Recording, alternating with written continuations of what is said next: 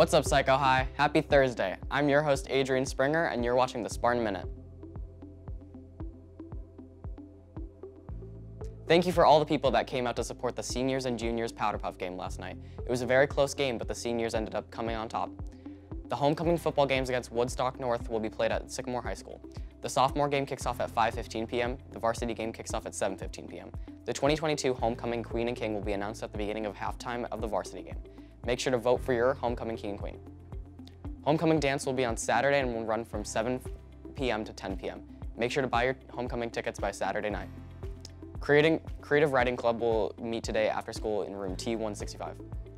Don't forget to follow us and subscribe to our school's Twitter page, Instagram page, and YouTube channel. Thanks for joining me here today on the Spartan Minute.